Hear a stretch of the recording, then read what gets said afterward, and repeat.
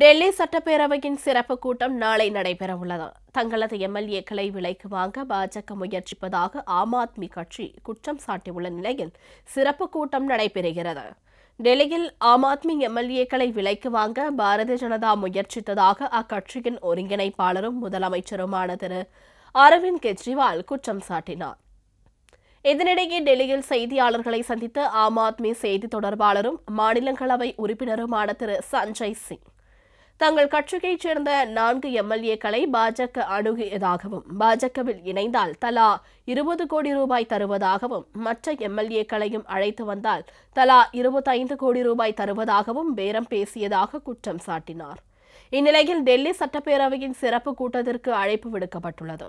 நாளை காலை பதினோரு மணிக்கு டெல்லி சட்டப்பேரவையின் சிறப்பு கூட்டம் நடைபெறவுள்ளது